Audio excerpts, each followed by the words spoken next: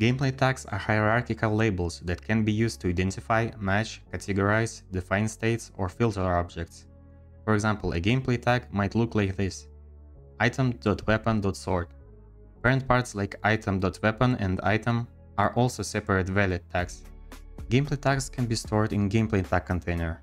This allows you to make different checks. For example, you can create other tags like item.weapon.bow and item.potion and store them in separate gameplay tag containers. Now you can check if these gameplay tag containers contain an item.weapon tag which means you don't care if it's a bow or a sword, you just want to know if it's weapon or not.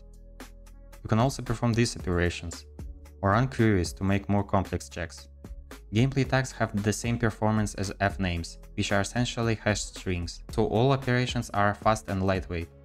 Gameplay tags are definitely better than adding bool or enum variables like is stunned or is poisoned and making casts to classes all over the place. You can instead use gameplay tags in almost every case, abilities, actions, items, damage context, game events, statuses, and more. I even add them to my food.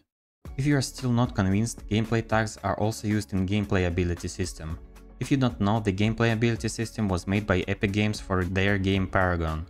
It's a flexible framework for building attributes, abilities, buffs, and all that kind of stuff that you might find in RPG or MOBA titles. It's pretty complex, but I think it's worth checking it out, as they use it in Fortnite. And you can even find some job positions mentioning the gameplay ability system.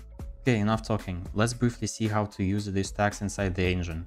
Create a gameplay tag container variable inside any object. Click manage gameplay tags. Select the source file and create a tag. One major advantage of this tag system is that you don't need to type text manually each time. You can easily select them in the editor's UI. Let's add more tags to see the hierarchy more clearly.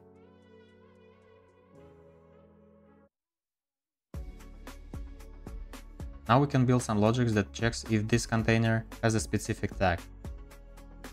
Also you can easily add and remove tags to any container at runtime and make game logic to react to it.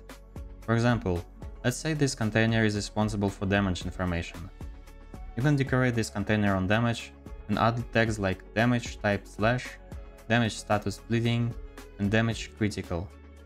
Other systems can check this container and do something with it, like a buff that heals on critical strikes.